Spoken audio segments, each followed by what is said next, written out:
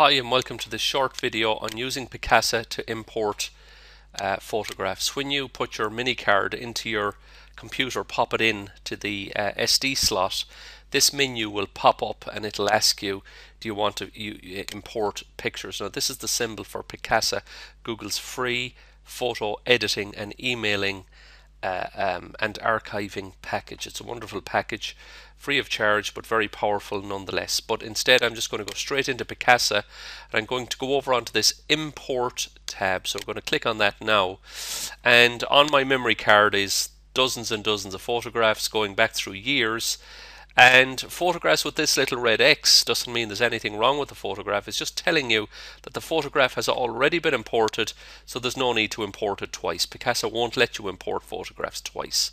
So now let's go down to the bottom here. I've pre-selected these photographs because the uh, tutorial video I'm shooting doesn't allow me to select uh, more than one photograph when I'm in this mode, but you can just hold the shift key and select as many photos as you like. And then down here you've got a few options. You can say leave the card alone, delete the copied photos, or delete everything on card. Now you really don't want to delete everything on the card.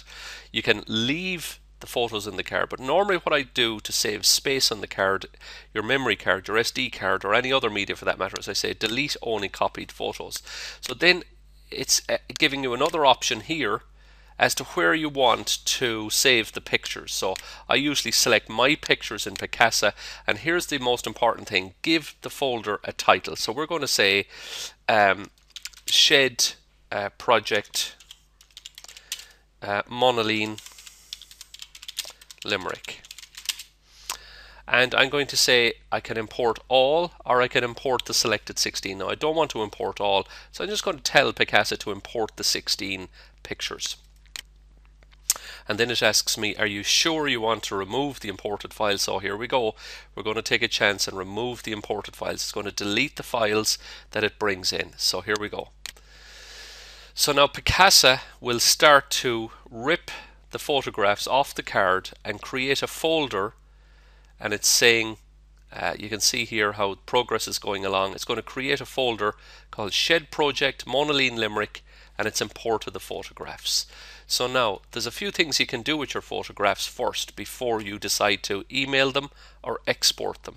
Now if we look at this photograph here uh, it's a nice photograph. Uh, it's of a garage with antique uh, uh devices in it, etc., etc. But here's the important thing: 2.8 megabytes photograph. Each one of those photographs are 2.5, 3 megabytes, etc., etc. Now, you don't want to be uh, emailing uh, those photographs to your friends or to your work because uh, most uh, email services, free email services, have a limit of about 10 meg.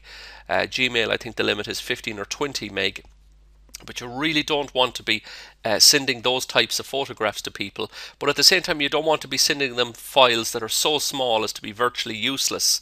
In other words files that are maybe 39 or 40 kilobytes tiny little thumbnail type photographs. So you need a decent sized photo but one that's not going to uh, slow down the email service.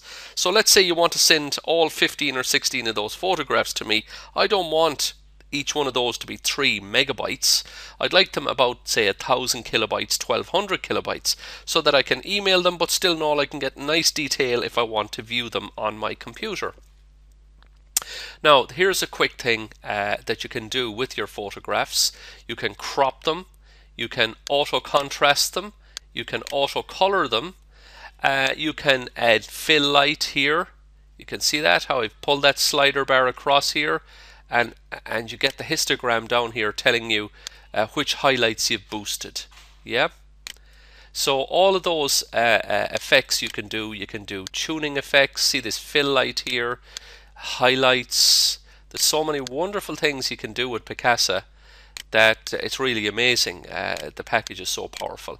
And then you can add all these little effects film grain uh, so on and so forth tint um, uh, you can see here color preservation all these effects you can add to your picture but we won't get too too excited with these effects for now. You just it's just enough to know that they're there if you have to do anything with them crop the photographs etc so we're going to select these uh, uh, group of photographs that I've just imported and let's say I want to uh, send them to uh, a, a, a friend so I've selected those photographs by holding the shift key and then clicked on each one of them. Now here's the thing uh, you need to remember. So we're going to we're just going to email those photographs. Now what I like to do here is I like to use this little thumbnail, this little uh, thumbtack, and you select the photographs. So you're telling Google uh, Picasa that these are the significant photographs and they're kept down here in a little tray and this is important. Now you can save these to a web album for uploading to the web but we don't want to do that for now. We can email them or export them. So let's just think about the email function. So I want to email them to a friend or a colleague. But first, before I email them, there's something you need to do. You need to go up here to the Tools menu, drop down the Tools menu, come right down to the bottom and go into Options in options, uh, it'll give you a few options. So we're not interested in web albums for now. We're interested in the email tab. See it here? The email tab. So we want to tell uh, Google Picasa, look, those photographs are 3 megabytes, 2.5 megabytes. We want to crunch them down. Now, I really don't recommend you crunch them too much. Like 320 isn't really enough detail. 480 getting a little bit better. 640 is good. 800 is better. But a thousand pixels just about right. You can of course go to 1200, but a thousand is a good size. So you can select this uh, uh, these options and this is the important one here because Picasa will now crunch all those 16 photographs each one of them it'll crunch them down to this size. And the reason we do that folks is it makes it very easy to email and the person on the other side isn't taking your name in vain because they're so upset with you because you've sent them huge photographs which is it takes an age to view. So everybody's a winner in this situation. You're able to send the photographs quickly uh, and in bulk without having to send each one individually and the customer on the other side gets one email it gets uh, 16 photographs but they're all crunched down to a nice size that they can still view the details. So we just select OK. So now we're going to say email. And it'll throw up this little uh, email address. So I'm going to email them to myself okay and it says here 16 pictures. So now we've crunched 16 pictures. If we take an average of 2.75 meg multiplied by 16 that's 43 megabytes. These 16 pictures would be on their own but we've crunched them down now to 2.2 megabytes. And I'm going to email them to myself and it says 16 pictures for you. You can put in a, a little bit of text if you wish. Hi here's the project photos I was telling you about. Okay so uh, and I'm going to just send those now. So here's what Google does. Takes those images all together and now it's emailing them. Yeah? And that is the cool feature of emailing photos. So now while it's doing that I'm going to show you this other feature. Let's say you don't want to email the photographs but you want to select the photographs uh, or you want to pick a, a number of the photographs and export them to a folder a separate folder on your desktop. Well you select this export button and then you've got you it, it opens up this menu and in the menu it'll tell you you can select any folder or you can create a new folder where you want to put the, those photos. And again you get the slide bar where you can select the photos and here's another cool feature. You can add a watermark to the to the picture. So you can say uh, sample photos. Or you can put your own name. And what uh, Google will do is it'll watermark each and every photo with your a title, whatever title you want on each photo. It's a, a, copyright protection feature. It stops people copying your photos if you wish to stop them from copying them or use them. Or you can simply put your name on it so that you get the credit for that photograph. If it's a beautiful landscape and you don't want people nicking your landscape without your permission, you can put your watermark on it and it's a it's a great way to um, uh, to to uh, protect uh, your photographs. And then you just click export. And it'll export there. It's going to send it to this folder. So we've got C users and it's going to export it to that folder. So it also you can have various uh, settings for image quality. So we're just going to click export now. And here we go. So now it's exporting the folder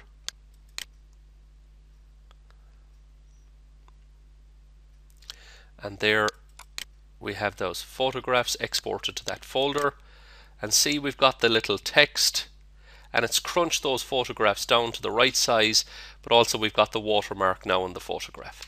So that's a, a, a very nice way to export photographs that you want to downsample uh, uh, to, to, to, different folders. And you can select folders any pictures. You can simply add uh, uh pictures uh, like this and just keep uh, adding them on and export them. So you can pick photographs from all over your Picasa and put them into one uh, tray here and pin them together and export them into one separate folder.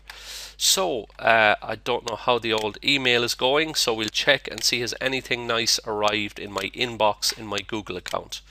Oh here we go. Surprise surprise. And there are the photographs. They've arrived in uh, nicely. We've sent them all and uh, I'm getting thumbnails there already. And you can see there, there are 147 kilobytes. And let's see what 147 kilobytes looks like. It's quite good. fills up the screen. I can see all the details and you can see how quick, even though I'm on a very slow broadband service here, how quickly uh, those photographs open up.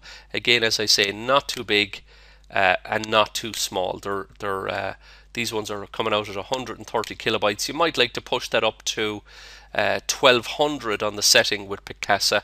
Let me just show you where that setting is if you'd like to send larger photographs. So we've it set at 1000.